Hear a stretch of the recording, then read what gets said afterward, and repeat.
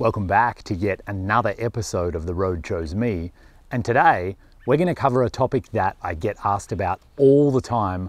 What do I do about safety when I'm driving around the world? You know, I drove through all of Central and South America. I drove all the way around Africa. So I went through a bunch of countries that are notorious like Nigeria, the Congo, Honduras, Bolivia. This gets broken up into three different categories. What did I do about my personal safety? What did I do about my vehicle and the things inside of it to keep it safe? And how do I stay safe from animals while I'm on the road? So all of that's coming up in this episode. Stick around, let's get right into it.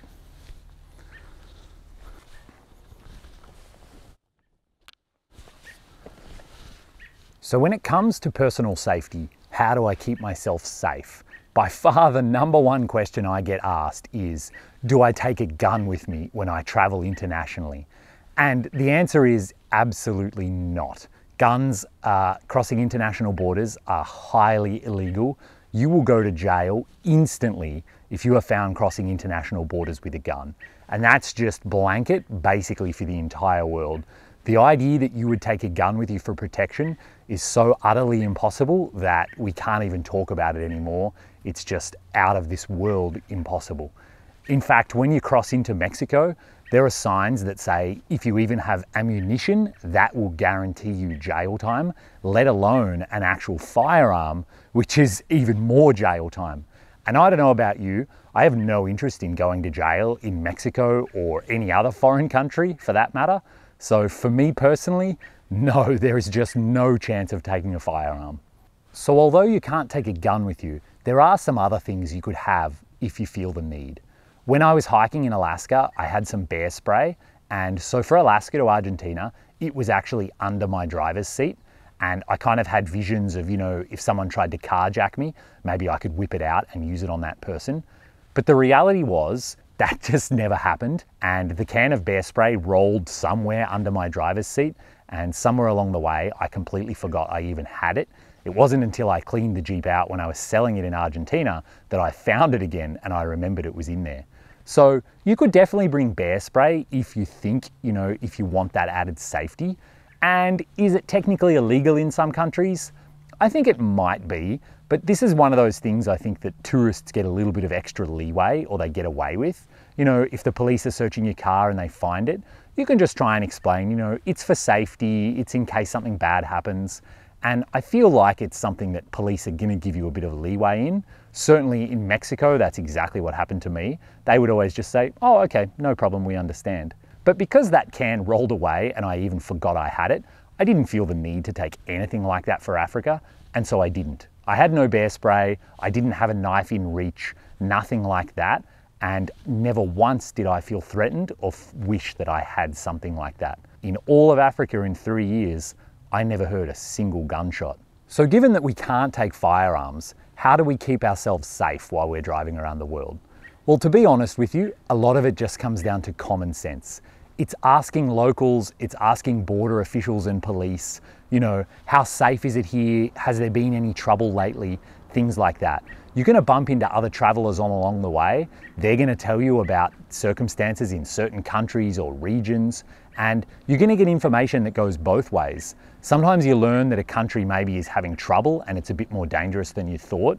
But then, for example, when I was heading towards Sudan, everybody told me Sudan is the friendliest country on earth and I would have no trouble at all and I could wild camp everywhere I wanted. And that is what I found to be true and it was really good to have that advice from other people who'd been there so recently. And so a couple of really simple things you can do is number one, don't drive in the dark. This is like golden advice for international overlanding because the dangers are so much higher in the dark. Firstly, there's danger on the road. There are potholes, there are children playing, there's vehicles with no lights, there's speed bumps, there's just a thousand obstacles on the road that are harder to see and sneak up on you faster in the dark. And the other reason is the chances of bandits or something bad like that happening, robberies, they do go up in the dark. So, advice from every overlander that I've ever met driving around the world find yourself a nice place to camp at maybe 3 or 4 p.m. Because if you're searching for a place to camp around dusk, it starts to get really stressful. Find a nice place to camp early on so you're not even tempted to drive in the dark. The handful of times I've done it around the world, it's just been monumentally stressful and I regret doing it every time that I have. The other one is if you're not feeling safe, don't go out after dark. If you're in a campground, stay there. You don't need to go into the bar in downtown Lagos, Nigeria and get drunk and then stumble home in the dark. That's obviously not a good idea, so a bit of common sense goes a long way. Along the theme of common sense is also what goes a long way to keeping yourself safe is being friendly. A smile and a handshake go a really long way. If you've been friendly to all the people you've met in all the small towns and all the borders you've crossed, chances are they're gonna know people who know people who are gonna recognize you or be like, oh, that's that guy we heard about who's coming. And if you've been nice and friendly, they have no reason to be mean to you. Don't imagine that it's like you versus the world or that there's thousands of people out there who are trying to get you at every possible instance. It's just not like that. That's not reality. And to put that into context, my friend Joannie, she drove from the top of Alaska to the bottom of Argentina all by herself. So she just finished that trip right before coronavirus. She had an amazing time. She slept in her Jeep most of the time by herself in the wilderness and she loved it. She said, in fact, the biggest danger that she ever felt was to her waistline because the food in Mexico was so delicious and people kept trying to invite her in and give her delicious food. So let's be honest, Joannie's a female, she's quite slim. If she can do it by herself and not feel unsafe, I don't think there's any reason that you should feel the need to take a gun in order to feel safe. To be blunt, if you feel the need to take a gun with you to feel safe, then I don't think driving around the world is for you. When it comes to vehicle safety, the first thing, and I mentioned it previously, is that I've installed a kill switch in my Jeep. So even if someone gets the keys, they can't drive it away, which gives me peace of mind that, you know, they're not going to take the entire vehicle. On top of that, my Jeep also has an alarm. And I know that alarms aren't magic, but they do draw a lot of attention, and that's a really good thing because in many parts of the world, stealing is really frowned upon and people will shame others who steal things. So having an alarm is definitely a plus. And like anywhere in the world, I guess we always run the risk of a smash and grab. And so the first way to prevent that, no matter where you are in the world, is give them nothing to grab. Do not leave your iPhone on the dash, don't leave your GPS out or your camera. That's just asking for trouble and that's like security 101. Hide all of your valuables, make the inside of your car look really boring. Let dust accumulate on the dash, leave your dirty underwear lying out. Don't give people a reason to smash a window, and that's gonna go a long way towards preventing it happening. But it is possible that it will happen, and so for me, the way that I prepare for that is that I lock all of my valuables away inside big lock boxes. So when I drove Alaska to Argentina, I made this shelf in the back of my little Jeep because the Jeep just had a soft top, I knew there was a chance stuff would get stolen. And in fact, I never locked the doors for the entire trip because of that. So what this lockbox did, it meant that whenever I locked the rear tailgate with the key, everything inside that box was totally secure. Yeah, if somebody had have hit it with a sledgehammer for 10 minutes, they probably would have got inside of it. But let's be honest, if you're in a public space and someone's hitting your car with a sledgehammer, you've probably got bigger problems than worrying about them taking your laptop. So in this new Jeep, I added steel lockboxes all over the place. My center console is a unit from Tuffy Security, and that's actually where I keep my camera, my GPS, my wallet. That way they're all handy when I'm sitting in the driver's seat, but every single time I get out of the vehicle, I put those things in the center console and I lock it with the key. And this thing's really sturdy, the lock is really beefy. Same story for the glove box, that's a steel unit and I have some important things in there. And then something I've never even talked about or shown on camera is that I have under seat lock boxes as well. So these are both steel lock boxes. They're bolted through the floor and through the seat bolts, which means they're gonna be extremely hard to get out or get into. But even better than that is that they're hidden and nobody even knows they're there. So even if someone smashes a window, the chances they're even gonna know they exist are really slim. And that's actually where I have my passport, my credit cards, my money, and it's really handy to have those things accessible from the driver's seat. And that gives me real peace of mind, even if I park on the street and someone smashes a window. they're not going to be able to grab anything more than like my clothes or some food. And actually, the broken window is going to be way more of a problem than anything that they can actually get at. So to keep your stuff safe, I really recommend having lock boxes like this. It really gives me peace of mind that, you know, my stuff won't disappear and that helps me feel confident when I park on the street. When it comes to parking on the street all over the world, it's a thing your car might get broken into. But you know, there's some advice that applies all over the world. Obviously, you want to talk to locals. If someone tells you, hey, this is not a good place to park, take their advice. Read iOverlander. There are plenty of Overlander hangouts now where locals know that people leave their car there for a week while they go hiking in Peru or whatever, and those cars get broken into. So if iOverlander says cars have been broken into in this place, don't leave your car in that place. It's as simple as that. Also, when it comes to overnight parking, I try extremely hard to never leave my vehicle on the street. I will pay for parking, I'll drive it into the secure compound of a hotel, I'll do whatever I can to get my vehicle off the public street and if nothing else, behind one layer of security, you know, behind a guard or behind a steel fence on that too. Once I was at a border in Honduras where I didn't think my Jeep was going to be very safe, and there was a guy there guarding the bank and, uh, with a big pump action shotgun. And I just said to him, Could you please keep an eye on my Jeep? And funny enough, he walked over and put his foot on the front bumper and held his shotgun at the ready. I took that to mean yes. And after I ran all of my errands and got all of my temp import permit and all of that, I came back, I gave the guy a few dollars, and he was extremely happy with that. So vehicle security is something that you need to think about and a smash and grab, I mean, yeah, it's something that might happen, but keep in mind, it might happen in the city you live in too. So don't let it deter you from going on the road. Just plan and prepare and make sure all your important stuff is locked away and it's gonna be more of an inconvenience than anything else.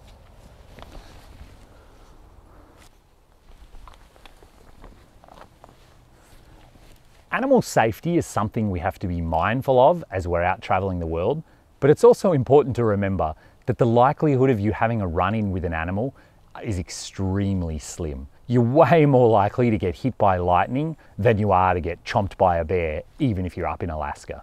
So I lived in the Yukon for four years. I've certainly had my fair share of grizzly encounters. I've seen a cougar and certainly I heard some lions roaring while I was sitting around a campfire in Africa. Uh, one elephant bluff charge the Jeep. So I've got a bit of experience with animals and there's a few pieces of advice that I think are really key. The first one is keep your campsite really clean. All of your food and all of your dirty dishes, they should always be inside your vehicle. And in fact, you should always wash your dishes before you put them back inside anyway. As I said earlier, I do carry bear spray with me, a small can like this. Certainly when I'm out hiking on foot, I like to have it.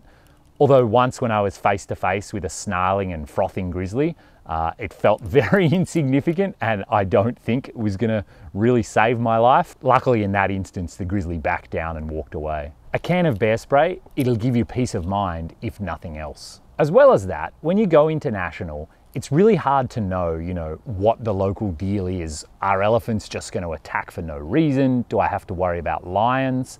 But the thing is, you learn all of that when you get there. You're going to meet other travelers. There'll be other people camping with you, you know, in Kruger National Park in South Africa. And the locals too, and the people at the national park, they'll tell you what you need to know. So, for example, there were parks where they physically will not let you enter if you have any citrus at all.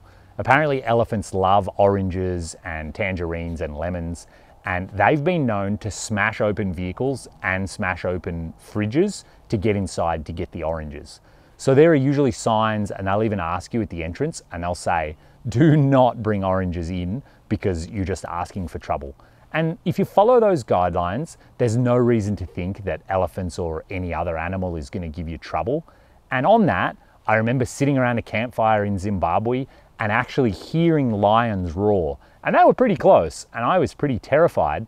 But I was with a bunch of South Africans, and they said to me, It's fine, man. This happens all the time lions never attack groups of more than three people. It just doesn't happen, it's unheard of. So, although we, without much lion experience, we're terrified of them, it actually turns out they're not as terrifying, you know, as we've made them out to be. Certainly too, I saw my fair share of creepy crawlies, snakes, scorpions and spiders. And, you know, Australia, Africa, a bit of common sense goes a long way.